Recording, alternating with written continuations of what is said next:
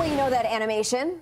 You know the sound. That's right. You know the letters. You know the words. Uh, it is Hurricane HQ week here at Fox Weather, and today we are taking a look at the widespread impacts of some of these storms. Uh, you know, I think it's easy and safe to say we've seen a, a fair share of historically impactful, devastating hurricanes in our lifetime, in your lifetime perhaps. But the concept of a hurricane season it didn't emerge until the 20th century. Our forecast tools, methods of collecting data, they've improved technological advances. That's also allowed us to message these storms better.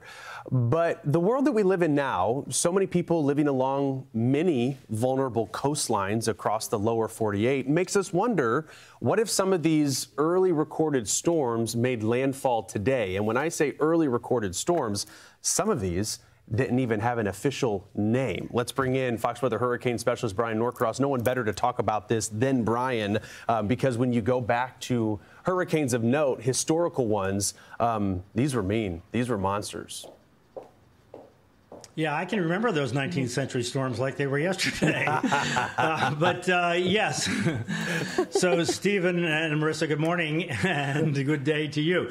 So, the, um, the, the lesson here is, you know, if you if you don't know history, you're doomed to repeat it, right? So, we thought it was really important for folks along the coast who are very familiar with these horrible storms like Hurricane Ian but to know that there were storms worse than Ian, even twice as bad as Ian in terms of the cost to the coast. So when you look at a past hurricane and say, how would that impact modern uh, hurricane zone in the United States, that's a tricky thing. So the first thing you would look at is the population increase and or the housing increase. So uh, in the same zone where the hurricane hit, has the population increased? Of course it has.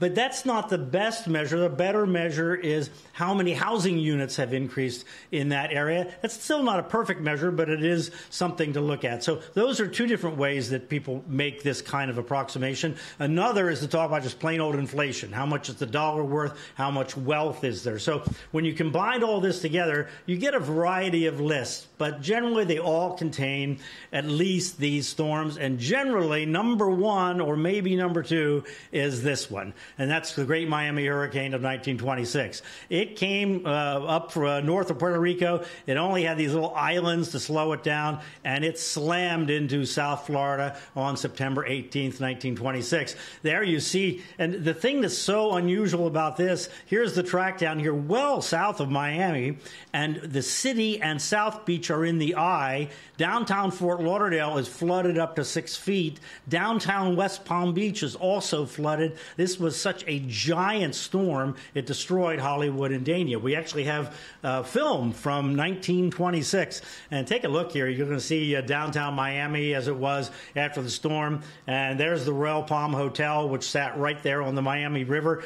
And about 10 feet of water came into downtown Miami. And uh, 95% of the buildings in all of metropolitan Miami, Fort Lauderdale, were damaged or destroyed in this one giant hurricane that hit in September of 1926. Okay, let's move on to uh, the next one.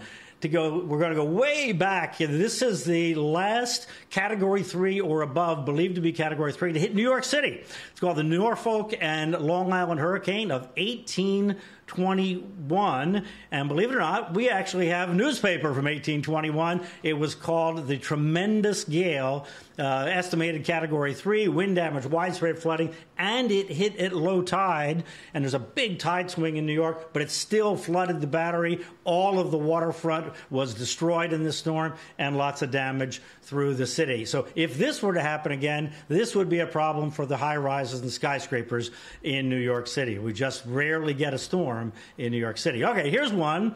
How about Tampa Bay? How bad was it in Helene? You go, boy, that was the worst we've ever seen. Well, I'll tell you what, if this happened again, this would be about twice as bad. This is the Great Gale of 1848, and it wasn't in October, actually. It was in, this is the September 25th storm. Came right over Clearwater, downtown Tampa, and put tremendous storm surge into Tampa Bay. And here's a picture of what was called Fort Brooke at the time. The little village of Tampa was right next to it. This fort was destroyed. There you see it, September 25th. Storm surge estimated 12 and a half feet above high tide, but it came in at low tide, so a total of 15 feet of storm surge.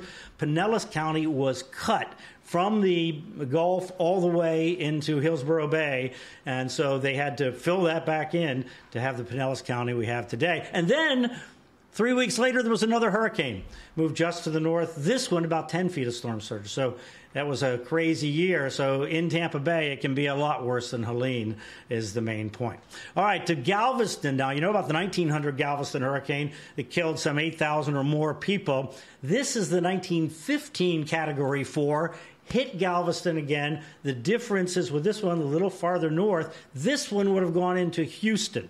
So this is always high on the list. Galveston, where over 8,000 people died in 1900, only in the hundreds died in, in this one because that seawall they built. But Houston wasn't really there yet in a big way.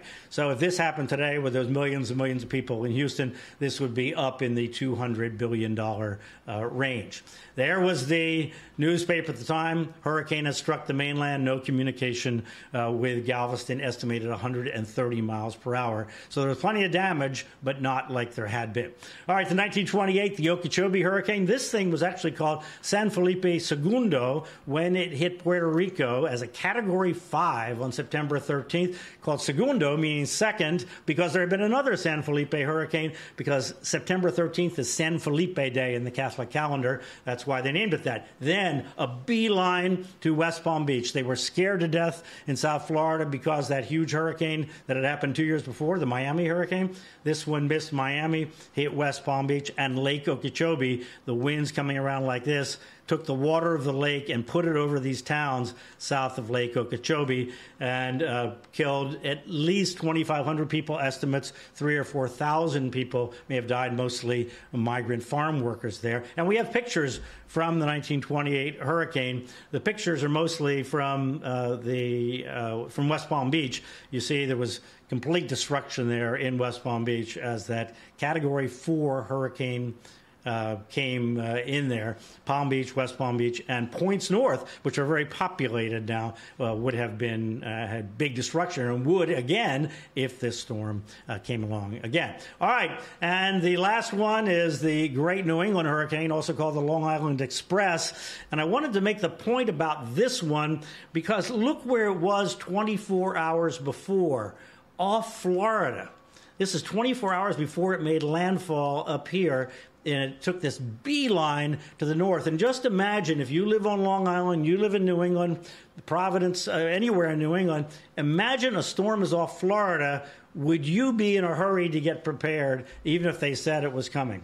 It's, a, it's hard to imagine. When we look here, the places that uh, really took it hard here, the eastern end of Long Island was destroyed. Providence, we have film of Providence underwater. Uh, the, uh, the trees in New England, uh, it was a it destroyed a huge number of the trees in New England. Most of the trees are post 1938 that you see growing in New England today.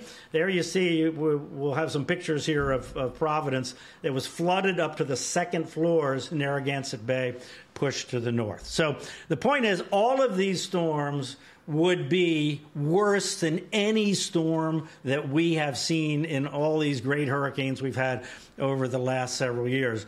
Uh, so, as as uh, incredible as these storms, the Ians and the Michaels mm-hmm. And Helene and Milton have been, uh, if these historic storms come back, it's on a whole different scale. And I just think it's mm. important for everybody in the hurricane zone to understand that this is the reality just, just in the little short time that the United States has been here let alone uh, in historic time. We know there have been great storms uh, even before that 1821 storm, obviously. Yeah, which That's, is uh, which is a fascinating dive, uh, uh, Bryan. I mean, I, out of out of the folks that I that I know who know hurricanes, the yeah. 19th century storms, um, you're the guy that I would go to. And it's interesting among that list because I know that there are so many more you could have talked about, um, but but highlighting a few of right. those that have reached the Northeast because that is such a rare thing to occur in the modern era. I mean, you were even yeah. mentioning it. Um, mm-hmm. Sandy is is kind of the point of reference, right?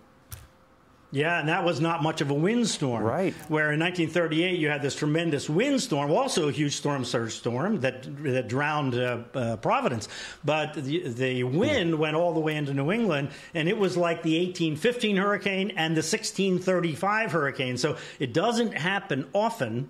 But when it happens, the the storms can be incredible and tremendously damaging in the Northeast of New England. Yeah, yeah, uh, a fascinating list. Appreciate you bringing that to us. Uh, important on the on the Hurricane HQ week, which uh, which rolls on. Fox Weather Hurricane Specialist Bryan Norcross for us. Bryan, thank you.